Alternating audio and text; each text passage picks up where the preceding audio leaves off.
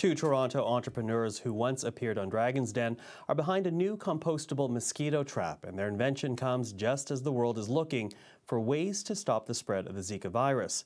Philippe de Montigny tells us more. And we can just add uh, the water into it like that. Meet Morgan Wyatt, a biochemistry PhD turned CEO.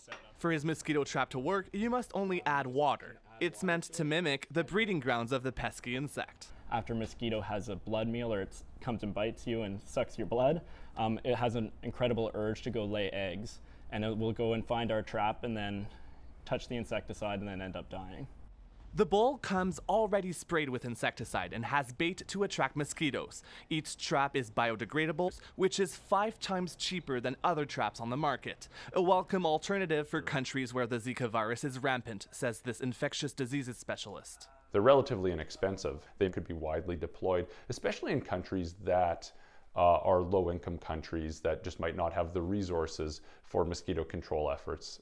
Greenlid uses the same technology for its traps as for its biodegradable compost bin, which was featured on CBC's Dragon's Den and had these venture capitalists fighting to seal the deal. But you're just selling yourself. I, I want yeah. to say, yeah. Because I want to do and a deal with them. The now the company is looking for clients globally. After a year and a half of field tests in Australia, the government placed its first order, 4,000 traps, in an effort to eradicate dengue fever, another mosquito-borne disease. After the Zika virus outbreak triggered a global state of emergency, Greenlid wanted to be part of the solution. With the onset of Zika and being declared a global pandemic, it just became almost a no-brainer for us.